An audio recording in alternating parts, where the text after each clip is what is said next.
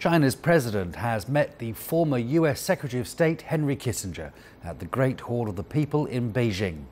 Xi Jinping said Beijing hopes for sustained, healthy, and stable ties with the US. He added the mutual benefits of relations between the two countries outweigh their differences, and China is willing to work with the US for a smooth transition following last month's presidential election. President Xi said China and the US should continuously promote the new type of major power relations and strengthen their coordination on international affairs. Kissinger said the US China relationship is important to the two countries as well as the world as a whole. He said he hopes he can keep playing an active role in boosting that relationship.